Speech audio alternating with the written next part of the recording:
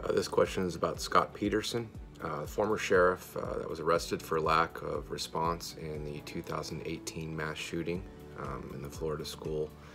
Um, should he be held accountable for his failure to act? And I believe he should. In this case, uh, this was a gun-free zone.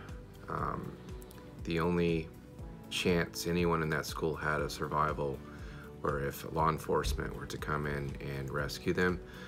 Um, unfortunately, that wasn't the case. Um,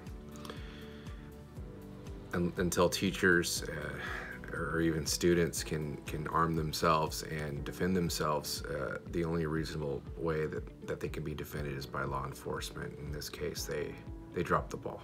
Should Scot Peterson be held accountable for lack of response on the situation? Yes, because it's his duty and his job to fulfill safety. Why should Scot Peterson be held accountable for his actions? Because he wasn't accountable. He didn't do anything to stop it. He should have stepped in and done something immediately. I feel that the only person that should be held accountable is the person who actually did the shooting. I don't think the sheriff should be held accountable because there was other circumstances involved. I believe he should be held accountable because it's part of his duties.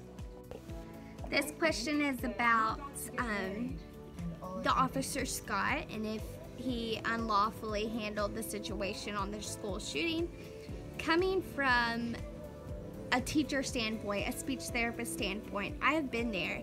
I have been in the school shooting aspect and um, I've had friends hurt in school shootings and I personally don't believe this was his fault. Um, if anything, when that happened to my family members at Marshall County in Kentucky, I it would have been nice to have the police there sooner, but there's nothing that could have stopped what was going to happen. And things happen. You can't help it and you can't save it.